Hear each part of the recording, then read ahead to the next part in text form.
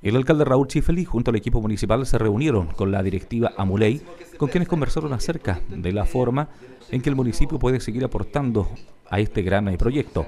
La directiva planteó sus inquietudes, además de dar a conocer el avance en este importante proyecto. Sin embargo, se mostró una gran preocupación por la posible instalación de la planta de residuos sólidos en nuestra comuna, que afectaría considerablemente la imagen de Amuley y sus productos. Francisco Cheuque Ancatén, presidente de la agrupación, señaló su preocupación sobre el tema. Eh, no puede ser que eh, el municipio de Lautaro haga el esfuerzo de, sacar la basura de la comuna y aparezca una comuna mucho más grande como Temuco eh, que pretenda instalarse con prácticamente lo que es un vertedero en nuestra comuna que nosotros la rechazamos pero tajantemente y le damos todo el apoyo al alcalde.